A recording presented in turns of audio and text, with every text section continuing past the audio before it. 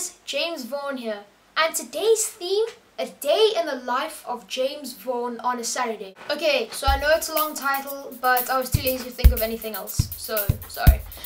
Okay, so how this is to go is I'm going to kind of document my normal day on a Saturday uh, and show you some stuff. As you guys all know, I have a raging social life and my schedule is fully booked, so I'm to have to be quite brief. But let's get to it.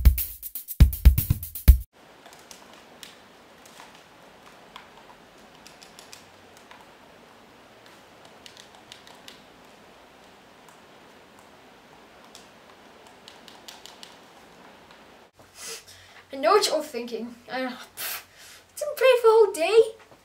Only like 9 or 10 hours. Don't judge, okay? Sorry. So, uh, Saturday and uh, gonna go meet with my girlfriend because I have girlfriend. Funny story actually. I met her online, this one site. Um, her name was uh, Crispy Chicken 303. Uh, she is real. Um, her real name's Candy. I actually haven't met her yet, but we're gonna meet next Saturday actually. I'll tell you about that now.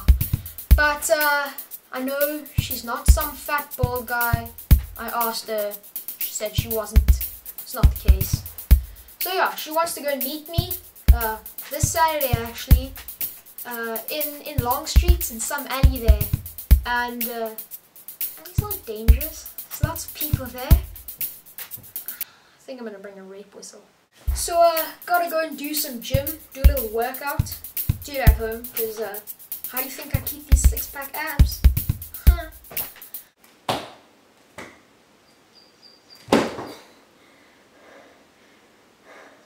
Okay, that's it for this week. Thanks so much for watching.